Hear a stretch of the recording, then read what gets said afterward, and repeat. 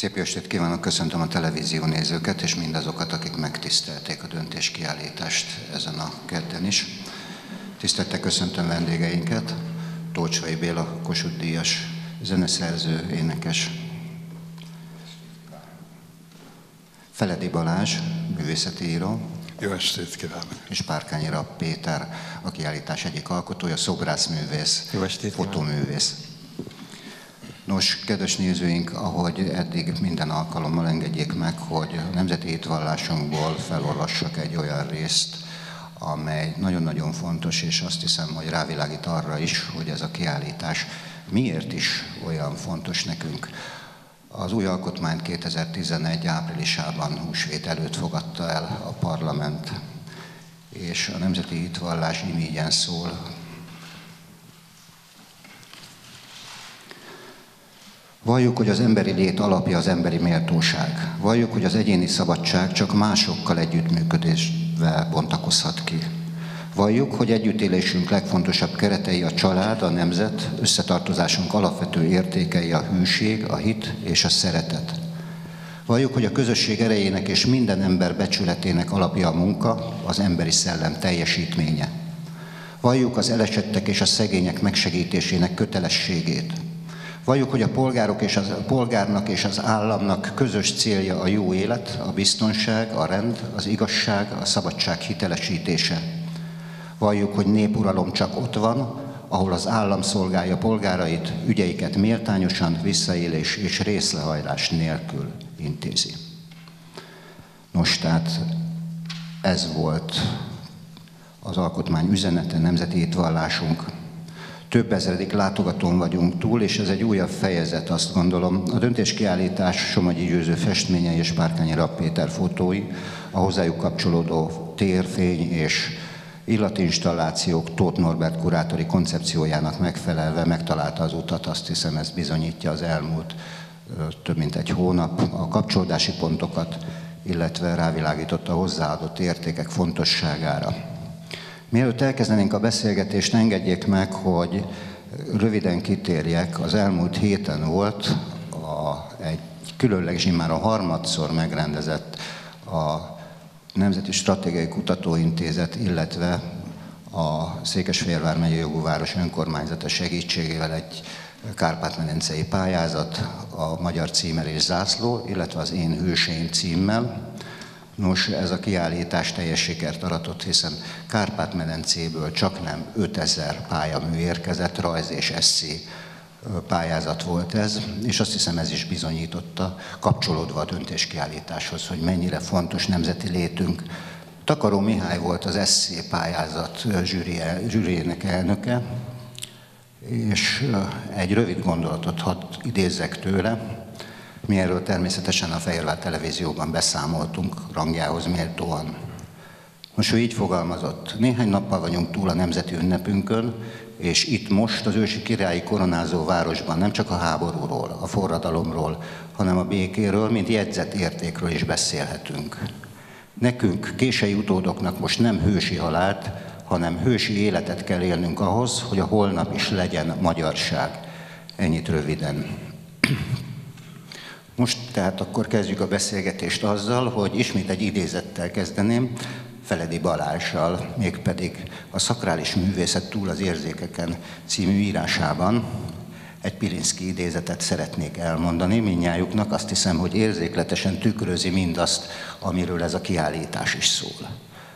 A művészi szép számos titka közül az egyik legszembetűnőbb, hogy az mindig egyfajta alázat gyümölcse. Ha jól megfigyeljük az alkotó képzelet kifejezésének anyagáért, mindig földig hajol, mint egy megismételve Isten teremtő gesztusát. Mi több, minél bonyolultabb a mondani valója, a művésznek annál esendőbb és elhagyatottabb rétegekbe kell leásnia, hogy megfelelő anyagra találjon. Azt hiszem, hogy ez találó. Nos, uraim, talán kezdjük gondolatmenet mentén a beszélgetést ezzel. Miként vélekednek ezekről a sorokról a döntéskiállítás tükrében? Hadd kapcsolódjam rögtön, hölgyem és uraim, nagyon örülök annak, hogy találkozhatok önökkel, és találkozhatok a kiállítással, és külön öröm, hogy az egyik kiállító művész van, Stolcsai Béla barátom a balomon, akihez több évtizedes kapcsolat fűz, de ezt elmondhatom Párkányra Péterről is, majd erről később még egy pár szót szeretnék ejteni. A szakrális művészet kapcsán lévő gondolataink rendkívül aktuálisak. Ugyanis az a helyzet, hogy itt különböző kategóriákat keverünk, mint ahogy esetleg a mai kiállítás kapcsán is. A vita, ami az elmúlt években a magyar művészetben is fellángolt, hogy nevezhetünk, mondhatjuk, hogy van egyházművészet, mondhatjuk, hogy van spirituális művészet, mondhatjuk, hogy van szakrális művészet, ezek nem szinonimák, ezek nem ugyanazok a kategóriák, Ebben a mélységeiben most nem tudunk belemenni, de itt látva Somogyi Győző fantasztikus két sorozatát, az a gondolat, amit én Pininszkitől is kiemeltem, hogy egyfajta alázat feltétlenül szükséges, és lehajlás, és a földről fölvenni a kincset és ott megtalálni, távol mindenféle sznobizmustól, távol mindenféle arisztokratizmustól. Ez egy olyan meghatározó gondolat, ami elvezethet a szakralitáshoz. Nem feltétlenül vezet el, de ez a szakrális művészet egyik alapkategóriája, az alázat. És hogy egy picit kapcsolódjam a mai kiállítási anyaghoz, én úgy látom, hogy Somogyi Győző egész életművében ez az alázat egészen kivételes érdekes. Hallok olyan észrevételeket, most már kicsit a vita területére is, de átadom a szót rögtön, hogy hát ezt a sorozatot, vagy ezt a két sorozatot már x-egyszer látjuk, meg már Fehérváron is rész lehetett látni. Az ilyen megjegyzések felháborítanak. Egyrészt általános értelemben is, mert minden jó művet nem először jó látni, mint ahogy Bélával beszélgettünk, minden jó zeneművet sem először jó hallani, hanem ötödször, tizedszer, századszor. A jó képzőművészeti művel pedig különösen így van. Somogyi Győzővel pedig különösen így van, mert minden egyes rápillantás új és új tartományait nyitja meg eh, előttünk. Én hát azt hiszem hatodszor, hetedszer találkozom a munkák példákkal, de minden egyes kép, amit ismerek, új és új izgalmas elemeivel nyílik ki számomra. Csak apróságokra utalok, hogy felfedezték-e, hogy a magyar hősökbe egyetlen egy képen nincs név föltüntetve. Ez Szent Istváné, aki egy olyan szimbólum, aki nem kell semmilyen. Ó, hirtelen ö, ugrok, és már aztán abba hagyom, hogy Széchenyi mint százados van föltüntetve a magyar hősök arcképcsarnokába, hogy Horti Miklós nem a kormányzói volta, hanem az otrantói hős volta van megörökítve, amely hat történeti tett, és nem politika történet. És nagyon izgalmas, hogy ennek a sorozatnak a utolsó darabja Maléter Pálé, aki ugye a 56-ról most nem tudunk vitatkozni, de meglehetősen erős döntés győzőtől, hogyha 56, akkor ő Malétert emeli ki. Summa summarum, ezeket a műveket és az Árpádház szentjét is mindig újra és újra nagyon jó látni, Ma pedig és itt egy ilyen kontextusban, amikor mindez még egy etikai kérdéssel is szembesít minket, akkor tulajdonképpen fölemeli új minőségekbe az egész kiállítást. Tolcsai Béla. Nekem először is sok szeretettel köszöntök mindenkit. Nekem egy szó jut eszembe, amikor innen beéléptem, hazaszeretet. És ez a szó, ez számomra szentség. A szakralitáson túl, és minden művész, minden mű, igazi mű, az szent. Ég és föld között szól, és hirdeti a jó és a rossz közötti különbséget. A színeket megválasztja, a formákat megválasztja, és, és abban hisz, hogy talán örök létre fog megfogalmazni valamit. Ehhez kapcsolódva egy történetet szeretnék elmesélni, Tolcsai Béla történetét. Nekem mondta egyéb iránt az ének mondott átos ember portréfilmben. Ennek annak ellenére, ha Kressz Albert fotóművész nem viszel magával Erdélyországba, nem láthatom a Tolna megyei Kakasdot, ahol egy olyan dadussal találkoztam, egy bukovinai székelyasszonynal, aki olyan nyelven mondta az égigérő fa meséjét, ahogy én még életemben nem hallottam, akkor soha nem jutottam volna semmire. A gyimesekben járva olyan hajnat láttam, amire egy 80 éves pásztorember azt mondta, ő ilyen szépet még nem látott. Úgy ültem ott fent a csúcson, mintha a világ tetején ülnék, miközben aranybíbor színben kelt fel a nap. Csilingelt az egész völgy. Akkor éreztem meg, hogy ez az én világom. Egyszerre lettem János Vitéz és Hári János. Megnyílt előttem a régi mesevilág, és ez volt az a pillanat, amikor visszakaptam a hitemet. És ugye a hited, hitedet megtartottad. Nos, és ez kapcsolódik természetesen az iménti gondolatsorhoz is. Viszont méltatlanul szó, kevés szó esik a fotókról mindez idáig. Ez a negyedik beszélgetés és Párkányi Rappéter nagyszerű fotóművészi teljesítményéről kevés szó esett. Ugyanakkor ne feledjük, hogy Párkányi Rappéter egy fantasztikus szobrászművész. Ha csak egy rövid felsorolás, hogy a figurális művészet válságáról beszélünk, de ha valaki meglátja Góbi Hildát, Besenyei Sós Géz, Sós Imrét, Tímár Gézát, Lukács Margitot, nem sorolom, Trianont, Mincentit, Szent Istvánt, Szondi Györgyöt, Jókait, Balasi Bálintot, és így tovább, akkor erről nem beszélhet. Ugye kevés szó esik arról is, hogy Párkányi Rapp Péter az F csoport tagjaként Székesfehérváron is gyakori vendég volt, és ennek kapcsán egy kollégám a tavalyi kiállítás kapcsán ezt írta. Szintén egy nagyon-nagyon rövid, és ígérem, hogy abba adjam az idézeteket. Az F csoport kiállítását amatőr műkedvelőként meglátogattam, és piszenésnyi magyarázatra sem volt szükségem egyetlen ecset vagy ceruzavonásnál sem, hogy Párkányi rap szobrairól ne is beszéljek. Hiszlériás napon volt, nyűgösen érkeztem meg a Szent Istvánba. De amikor képtől képig lépegettem, azt vettem észre, hogy már nem az vagyok, aki belépett a terembe. Vaskos poénjaink, eme olcsó kifejezése utalva a Filip Sándor vakvezet világtalant képére egyébként, pontázóhant össze, és hatalmas fájdalommá terebélyesedett. Nem tudom, kirejti el Fehérvár elő, vagy hova bújik a művészet, de a Szent István boltívei alatt piszenésnyi hang nélkül megölelt. Ezúton is egy esztendő múltán, ugye tavaly januárban volt ez a kiállítás. Köszönjük szépen. Viszont akkor essék szó a felkérésről, a fotóművészeti felkérésről és a megvalósításról. Hogy van az, hogy a hungarikumokat digitálisan, szándékoltan tönkre lehet tenni? Először talán annyit szeretnék hozzáfűzni az előbbi mondatokhoz, hogy nem, nem méltatlanul nem esett szó eddig a fotókról, hanem kivártuk ezt az alkalmat. Ugye tudtuk, hogy jövök, és hogy erről majd erre szót tudunk keríteni. A busók, tehát miért busók, illetve mi is, mi is volt az én szerepem ebben a kiállításban szeretném hangsúlyozni, nem a rossz oldalt képviselem, a rossz oldalt mutattam be.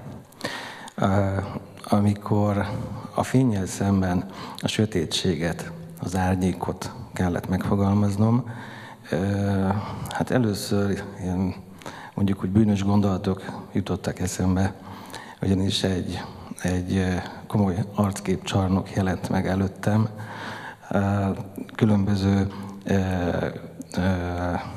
művészettörténészek, esztéták, ebben nem tartozva bele ebbe a körbe, részéről, akikkel, akikkel nagyon szívesen eljátszottam volna. Ennek van hagyománya egyébként a, a művészettörténetben. A, a, a, e, nagy, tehát az elmúlt korokban ahogy a mecénásokat ö, szívesen ábrázolták a, a mesterek, a művészek, ugyanúgy azokat is bemutatták negatív hősökként, negatív figurákként, akik a, az életútjukat úgymond gátolták. Minden esetre ez az első gondolat, ez azért hamar hamar túlléptem ezen az első gondolaton, egy, egy kicsit olcsónak találtam ezt a, ezt a megoldást, és azon gondolkodtam, hogy mi az, tehát hogyha erre nem indulok, tehát nem indulok el egy olyan irányba, hogy, hogy bántó legyen, akkor hogy tudom ezt megoldani, hogy senkit ne sértsek meg, de, de mégis ez a, ez a gondolat célba találjon. Így találtam rá a, a busókra, a, ami egy, ugye ismerjük a, a maszkok történetét, illetve a busójárás történetét, ez ma már ugye hungarikum, ez a sokált kisebbségnek egy, egy hagyománya, amit átvettünk, illetve használunk, örömmel használjuk farsankor. Egyes nézetek szerint, vagy kutatások szerint ez a török hódoltság is visszavezethető. Nekem nagyon érzésem, hogy akár még, még messzebb. Tehát ez lehet, hogy egy még ősibb dolgokra mutat. Hétetlen nagy számban vannak ezek a maszkok. Nekem körülbelül egy, tehát itt 66 kép kerül bemutatásra, nekem kb. 300 fotóm van. És ö, ö, miért, tehát mi, miért a busok, miért készülhettek valamikor ezek a maszkok?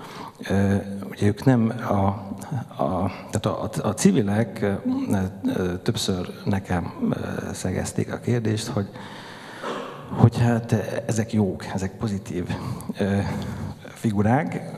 Tulajdonképpen nem, nem tehát hogyha megnézzük a, a maszkokat, nem azok, és nem is ilyen céllal készültek hajdanán, hanem ijesztőek akartak lenni, és valami ördögit szerettek volna bemutatni azok, akik ezeket létrehozták.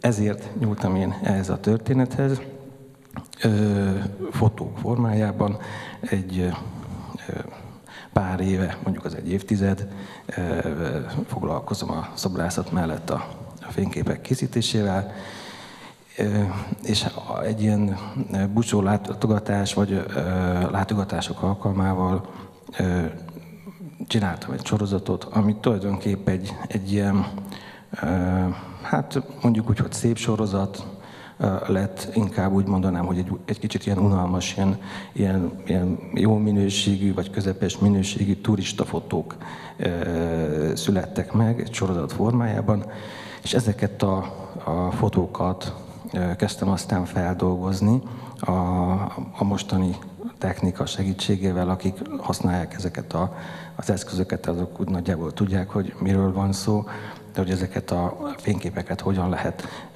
manipulálni, torzítani, hogy hogy, hogy, hogy épül fel ez a, digitális rendszer, ami egyébként számomra, amikor elkezdtem ezzel foglalkozni, illetve elkezdtem ezt a, a műfajt tanulni, egy ilyen nagy, nagy szerelmem lett, tehát nagyon, nagyon komolyan beleástam magam ebbe a történetbe, annyira komolyan, hogy tulajdonképpen egy pár év alatt, mondjuk egy három-négy év alatt egy másfél diotriát rongott is a szemem miatt. Úgyhogy ezért a, a számítógépre úgy azért haragszom. De hát ugye ez, ez, ez van.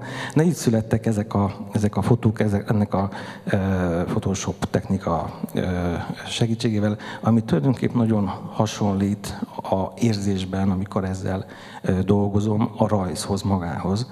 Tehát a klasszikus e, rajz e, rajzolás élményét valahol magával hozza. Tehát tulajdonképpen ez egy, ez egy, ez egy új technika, a, a, a gondolkodás viszont a régi. Köszönöm szépen, azért annyit tenják hozzá, hogy tudjuk azt, hogy végtelen lehetőség van az értéket tönkretenni, de hála Istennek te magad tudtad, hogy miként lehet új értéket létrehozni. Péter gondolatához szeretnék hozzátenni valamit, mert ugye olvasom a sajtóban, kapom én is a visszhang, hogy miért pont a búsók le. Ki kell innen kapcsolni a búsókat? Milyen jelenségről van itt szó? Ezek állarcok. Vannak benne valakik, de ezek állarcok. Mi, az ellenségeink általában állarcban jelennek meg. Ez a jellemző az egész közéletünkre, hogy szemtől szembe ritka. Itt tehát én egy szimbólumként értelmezem, az független attól, hogy ő hol készítette a fotókat, és abból mi, mivé emeli ki. Tehát az arc-állarc kérdés, hogy tudjuk mindannyian, hogy közlekedünk ebben a társadalmi létben, hogy általában állarcos emberekkel találkozunk, csalódunk, mert hiszen az állarc arcokat nagyon kevesen veszik le. És ez tulajdonképpen egy ellenség. A másik, amiből én kiemelem ebből a búsó jelenségből, hogy megrémisztő. Tehát tulajdonképpen láttam én búsójáráson, hogy a pici gyerekek félnek, megijednek, sírnak. Ez az önmagában pozitív esemény, ugye az ördögűzés és a tavaszköszöntés, kivált egy olyan reakciót, hogy itt valami rémisztő van, különösen aki érzelmileg reagál erre. Tehát én azt gondolom, hogy Péternek ez a választása, hogy egy pólust, egy másik pólust képvisel, művészi értelemben, a maga szimbolikus értelmezésében feltétlenül egy eredeti vállalkozás. Egyetértek, és amikor Torcsai Béláról fordulok, nem felejthetjük el sohasem a riadó leányt, a napfiát és a csillagláncot, és azt hiszem, hogy ez is az a vonulat, amikor azt mondjuk, hogy az érték, a szép, az mindig az alázat gyümölcse. Ez így van, most teljesen mindegy, hogy kinek mi a véleménye, hiszen mi tudjuk, hogy miért születtek ezek a fotók, és azt is tudjuk, hogy miért született meg Somogyi Győző Magyar Hősök arcképcsarnoka, és miként egészült ki azzal a 27 képpel, a 26 Árpádházi Szent és Boldog, illetve Jézussal. Amikor te hozzáfogtál, és ugye ez kapcsolódási pont mindenképpen a Tolcsai trilógiához, akkor ugyanúgy megvolt benned az alázat, mondom én, és a múlt tisztelete, az a törekvés, ami, ami azért elvezet bennünket a múlthoz. Ez, ez valahogy az emberben kialakul, másképp nem is tud hozzányúlni a hangszeréhez, mert minden ellenkező híresztelések ellenére nem azért éneklek, most nehogy megsértődjön valaki, hogy a közönséget rabul ejtsem, hanem írjak egy olyan dalt, ami nekem tetszik először, de nagyon. És addig nem hagyom abba, amíg nekem nem tetszik. Amíg nem tetszik, mert, mert akkor, akkor talán előmerek vele jönni más elé. De visszakapcsolódnék egy pillanatra. Én most láttam először ezt a kiállítást, és nagyon jól éreztem benne magam, amikor bementem. Nekem az ördög, ez egy kicsit mást jelent. Ördög nem egyenlő a sátánnal, össze lett keverve a két fogalom. Az őrződög, tehát kopányi koponyákat tenni a terület szélére, hogy megriadjon a rossz, és távol tartsa a rosszat. Őrzi a jót. Ez régen a kicsi, úgynevezett primitív népeknél, ez egy konkrét tény volt. Gondoljanak entek, ha még lehet találni, Kunkovács László képein lehet találni tanyákon, ahol mindenféle furcsa alakzatokat tettek a határ szélére, és ezt tette, hogy tartsa távol a rosszat itt jó van benn, a sötétben őrzi a fényt. Ott van benn a fény. Azon, azon alkotásokban, mint Somogyi Győzőnek a képei sugároznak, és az a hősiesség, és az a, az a szeretet, amit nekem jelentenek ezek a, az alakok és a megtestesülések. Visszatérve, amit kérdezték, köszönöm, hogy ezt szóba hozta a Tolcsvai trilógiát.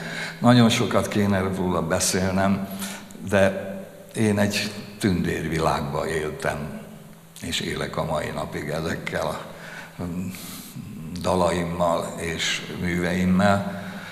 A művész megpróbál, úgy érzem, az embereknek valahol egy olyan példát mutatni az, a felhozott értékekkel, amiben esetleg más is talál saját magának való menekülési utat, vagy vigasztalást. nem tudom, hogy jó úton járok én, szóval én, én, én még nem csináltam meg azt, amit szerettem volna, még ha már már hetedik kerekesztendőt betöltöttem, de még mindig úgy érzem, hogy még van mit tenni. Sok részletet próbáltam megfogalmazni.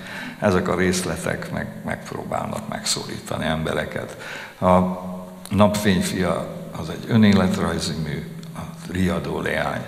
Tündér át hívja segítségül akkor, amikor baj van itt ebbe a Kárpát-medencében.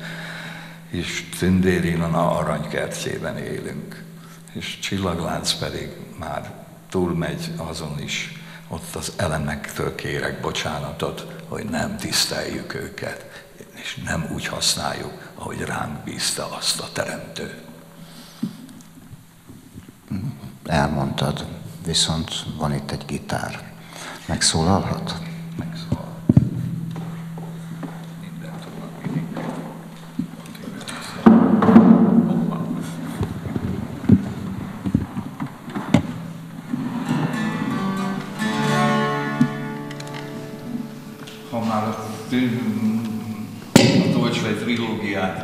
említetted, akkor a legelső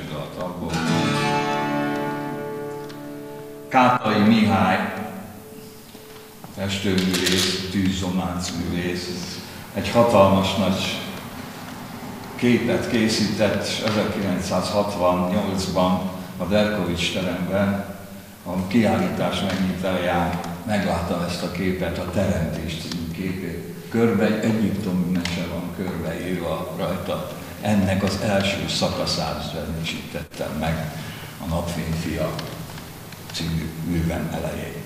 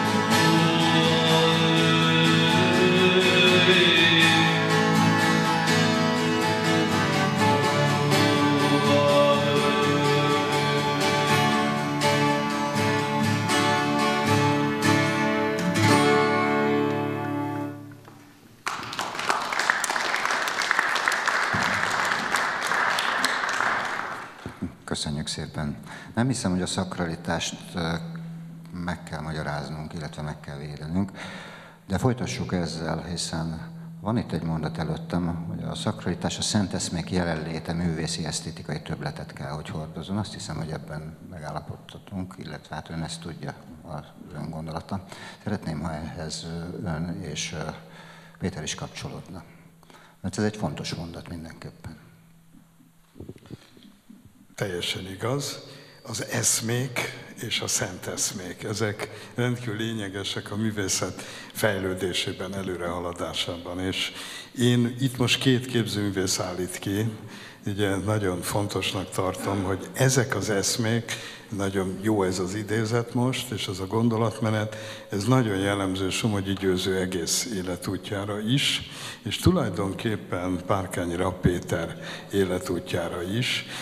Tehát Győzőről hadd mondjam azt, hogy Ugye a képzőszet kicsit kevésbé érdekli az embereket, mint a mozi, irodalom, színház, de hogy tudják-e azt, hogy Győzőnek milyen fantasztikus a képzőművészeti múltja, hogy a 70-es években már a múlt században olyan fantasztikus szita nyomatokat készített, amikor még Erdélyben alig lehetett járni, és a Ceausescu-i diktátorból hazajöve drámai lapokon megszólal a szakralitás is azokon a lapokon, most hirtelen, hogy erről beszélünk. Még nem volt falupusztítási program, az jóval később jött elő, de megelőlegezte ezt. És ezek az eszmék ezekből a rendkívül tragikus drámai lapokból tulajdonképpen máig sugároznak.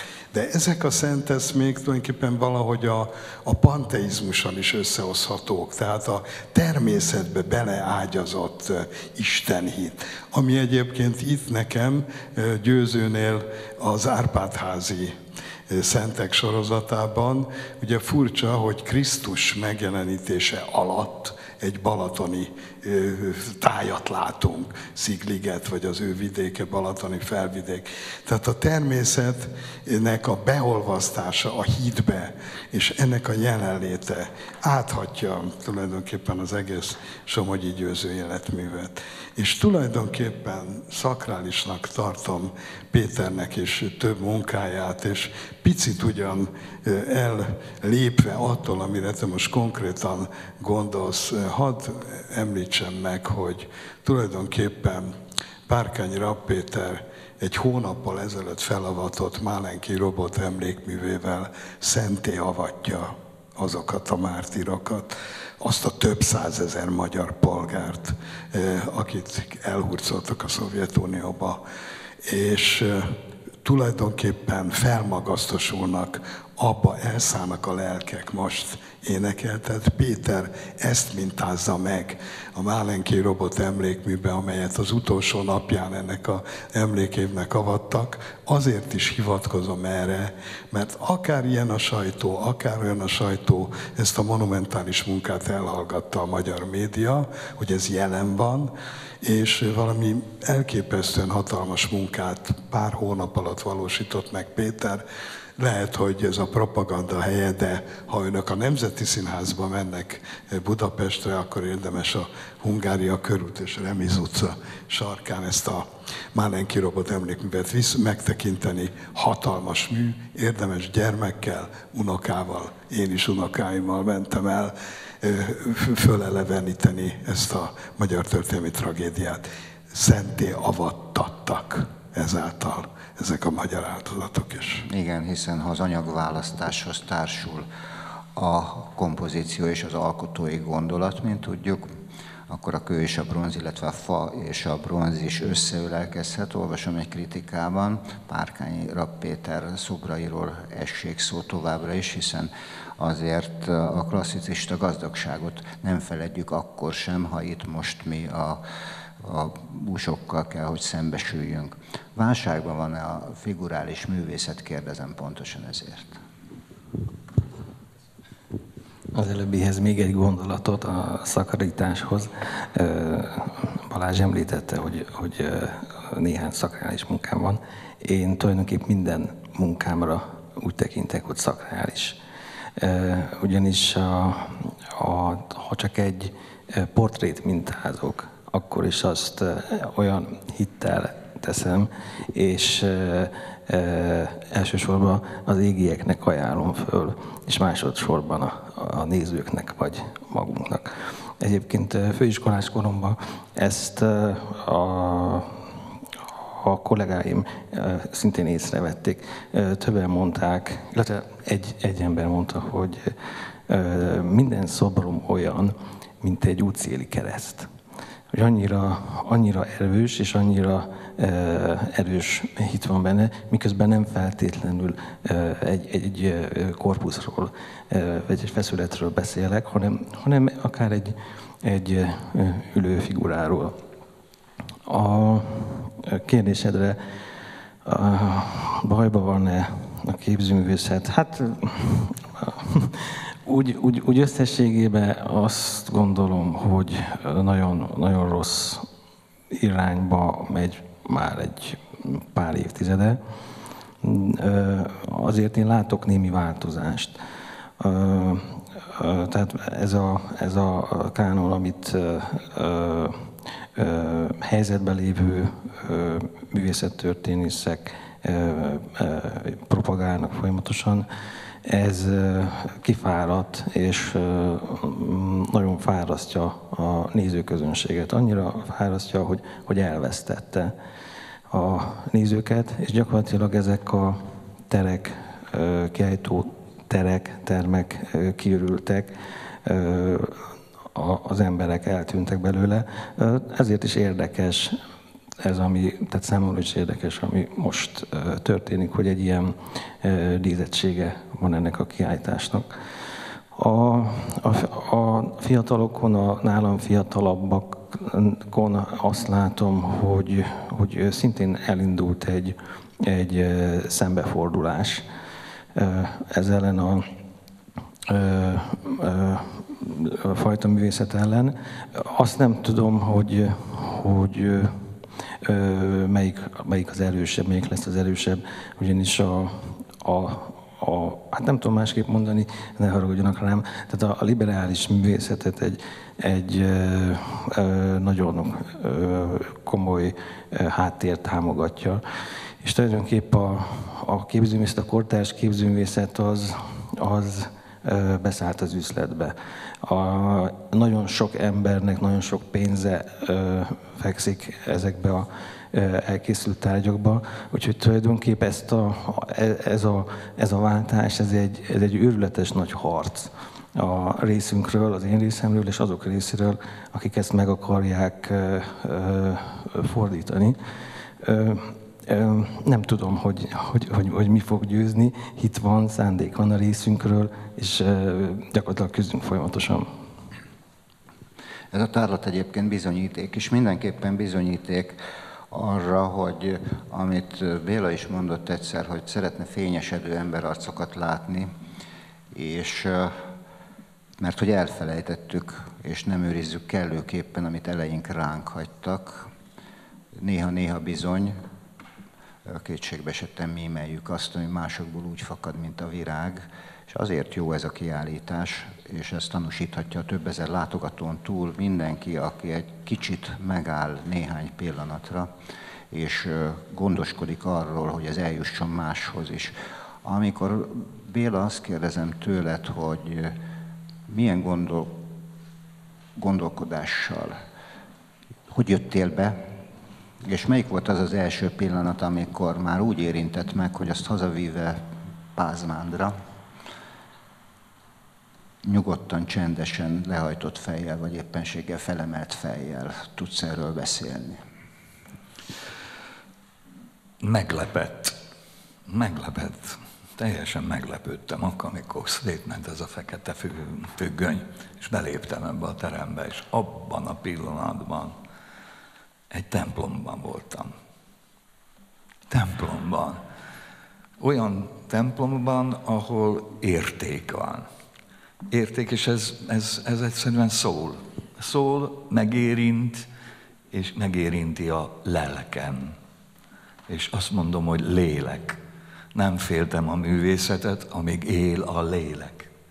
Amíg él a lélek, mert az nem művészet, amikinek olyan a lelke. Egyszer a Gros Arnold mondta nékem, hogy láttad ezeket a rákkeltő képeket? Hát ha nincs benne harmónia, nincs benne olyan figuralitás, olyan, ami az embernek a sajátja, nem a lelkéhez szó, akkor a játék, a gyerekkor, az megőrizni magunkba a gyereket.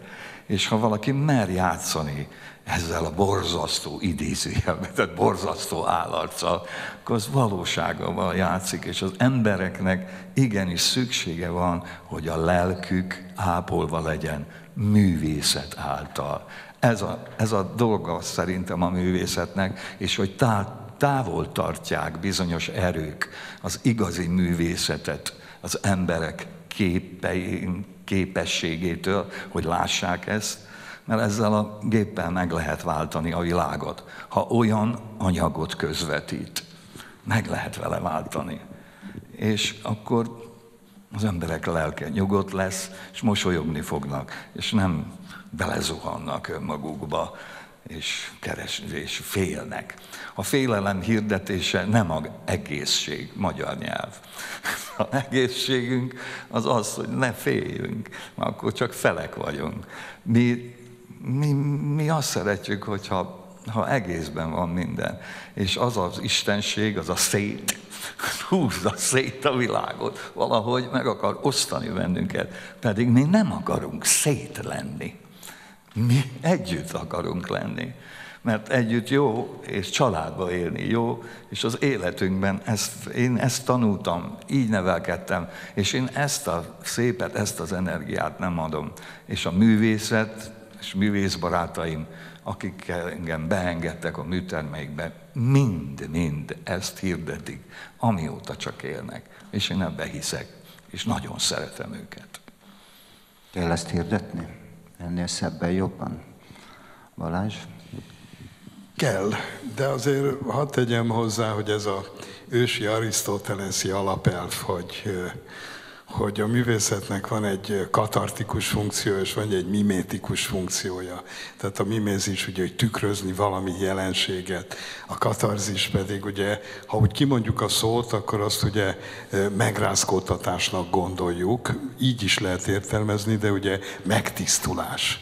Na most ezzel azért, ezzel a, ez nagyon fontos a művészetben, és ehhez néha kell szembesülnünk a rosszal, a negatívval, a groteszkel, a tragédiával, a drámával, az iróniával. Tehát a művészet egy nagyon széles massza, egy hatalmas jelenség, sor, amiben nem csak pozitívumok, hanem negatívumok is benne foglaltatnak, én, nagy ez egy külön vita tárgya, hogy tulajdonképpen mi is a művészet, én az elmúlt 25 évet éltem, ugye most már a rendszerváltás után, 25 évet már dolgoztam a rendszerváltás előtt, a pólusokat érzi az ember, majdnem ennyi ideje dolgozom a művészetben. Én úgy éreztem, hogy a művészetnek van mindig egy demokrácia pótló funkciója.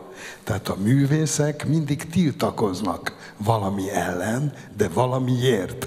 Na most ez a kérdés, ez ma is nagyon fontos, hogy a művésznek ne csak az apologetika, tehát ne csak valaminek a szolgálata, hanem egy bírálat is, egy kritikai attitűd is benne foglaltatik. A művészet azért is fontos, hogy az egy sajátos értelmiségi gondolkodást kifejezzen a társadalom számára. Ez az összetett differenciált művészetkép nagyon fontos és számunkra, ezt kell képviselni, és én azt gondolom, hogy egy nagyon határozott állásfoglalással ez a kiállítás is ezt képviseli. Csepin Péter két hete megrótt azért, amikor számokról beszéltünk, úgy fogalmazott, hogy az egyes ember a fontos, és külön-külön kiki maga döntse el, hogy tetszik neki, vagy sem. Én azért mégis megkérdezem Párkányra Pétert, hogy ez mondjuk 7 vagy 8 ezer szeres pozitív megerősítés az, hogy a kiállítás látogatók igenis elismerik azt a kurátor, kurátori koncepciót egyik oldalról, másrészt pedig mindkét művész nagyszerűségét. Ez neked megerősítés? Hát abban biztos vagyok, hogy a kurátor megerősítették, tehát ő jól végezte a dolgát. És előbb egy szónál leragadtam katarzis. Nekem a, a munka jelenti a katarzist. Tehát amikor, amikor én dolgozom, akkor nekem az elég. Tehát lehet, hogy ez furcsa hangzik, és akkor most másodszor is elnézést kérek. Nem, nem, nem igazán fontosak nekem a visszajelzések, vagy nem, nem volt fontos soha. Szükséges, hogy bemutatkozzam, hiszen ebből élek. Tehát muszáj, hogy, hogy holnap is tudjam finanszírozni a, az életemet, a, a munkásságomat, de én, én, úgy, én úgy nagyon el vagyok magamba, vagy ellennék magamba, ha, ha egy szigeten egyedül élnék, vagy esetleg ha a feleségem ott van velem, akkor az még, még jobb. De minden esetre én úgy gondolom, hogy én, én el tudnék farigcsálni magamnak egy helyen. Az, hogy ki kell, ki kell lépnünk a nézők közé, és bemutatkozni. Én először nekem a dicséretek, tehát hajdanán, amikor mondjuk először megdicsértek, mert volt olyan is. Mostanában sokat szídnak, vagy sokat szittak. A, a pályám elején nagyon, nagyon egyszerűen, kényelmesen és jól indultam, és nagyon szépen haladtam felfelé. És akkor én ettől nagyon megijedtem. Tehát engem, engem nagyon zavart az, hogy ha, ha ilyen dicséreteket kapok, akkor mit csinálok rosszul. Mert, mert, mert ez nem normális, mert úgy gondolom, hogy, hogy, hogy, küzd, valami, hogy meg kell küzdenünk egy elismeréséhez, nem, nem hullhat rögtön az ölünkbe. Most már azért jutott minden a, az eddig életemben, tehát jó és rossz is, rengeteg jó. Sokan megkérdezik, hogy ha így asztaltársaságban beszélgetünk, vagy, vagy idegenekkel beszélgetek, hogy ők mondják, nem én tartom magam annak, ők mondják, hogy mitől maradtál te ilyen normális. És tulajdonképpen én ezt ennek köszönhetem, hogy, hogy, hogy nagyon, nagyon nagyok a kilengések. Tehát mindig, mindig van egy, vagyunk fönt, vagyunk lent, kapunk újra egy pofon. Tehát igazán úgy nem volt időm elszállni. Na most itt ez egy nagyon más helyzet, ez a kiállítás, ugyanis itt, itt hárman vagyunk. És a, tehát a kurátorral, a, a győzővel, illetve jó magam, és itt ez egy, ez egy nagyon, nagyon célirányos dolog. Ez egy megszólítás volt. Tehát itt kerestük a, a nézőket, úgyhogy akkor én most itt megköszönöm, hogy, hogy ennyien megnézték, és, és, és valóban valamit, egy, egy kérdést tettünk fel, amire ezek szerint, tehát a számok azt mutatják, hogy, hogy van válasz, és nagyon meglepő egyébként, hogy, hogy egy ilyen nagy számban Úgyhogy itt most jelen pillanatban nagyon fontosak a számok, igen. Tehát megmaradt az intellektuális beágyazottság, ha úgy tetszik, illetve a belső meggyőződés természetesen, és a szenvedély. Fontos a szenvedély? Látjuk ezzel, ebben a kiállításban a szenvedélyt, Béla? Vagy ezt inkább szemléljük csendesen? Az alkotók, alkotók tudnak beszélni erről nekem, nekem szenvedélyes kifejezésforma. Ez, a, ez eleve a rendezés, ez a, ez a fény, fény megosztás, a, az állarcok sötét oldala, és mégis világít, és középen az a, az a pompa, mert egy szinorgia tulajdonképpen, az, az igenis nekem szenvedélyességet sugal. Nekem egy picit más gondolataim vannak a szenvedélyről, mint ez a kiállítás. Nekem inkább egy meditatív, egy filozófikus magasságba emelő térről van szó, mert hiszen nem hagyományos kiállítás, ugye belépünk egy sötét térbe, és a egyik kiállítási anyag végül is árnyékban rejtőzködik, és csak sejtelmesen villan fel.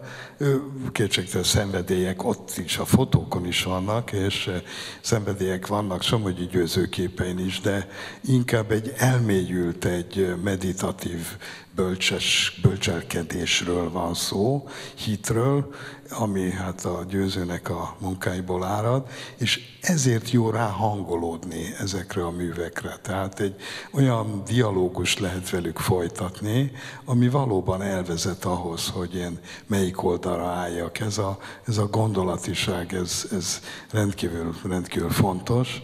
Péter szavaihoz egy pillanatra hadd mondjam azt, hogy ezért is művész a Péter, mert amint mondja, hogy amikor ő dolgozik, akkor nem gondol a közönségre és a befotókra. Lehetünk mi megsértődve ezért, de ez az igazi művészi magatartás.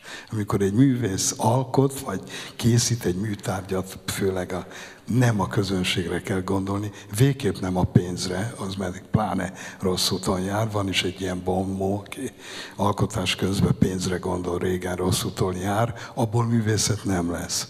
Ez az a szenvedély, az valóban az alkotói munkában, mint magatartás, az érzékelhető, de ennél a kiállításnál inkább azt gondolom, hogy gondolkoznunk kell, elmélyülnünk kell, és olyan változatos, gyönyörű színélmények, gondolati élmények érnek minket, ami tulajdonképpen ritkán adatik meg, bár hányszor is láthatjuk ezeket a festményeket. Nos, akkor mivel repül az időnk, egy dalt még kérünk szépen, ami adott esetben talán szenvedélyből született, ami tanít bennünket, ami fontos számunkra.